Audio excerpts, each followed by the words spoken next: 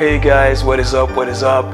I don't know if I told you, but I love this city, Toronto, from the diverse and kind people that's in it to the landscape and the cityscape, everything about it. Now, one thing I had not had a chance to experience so much is the beautiful sunset.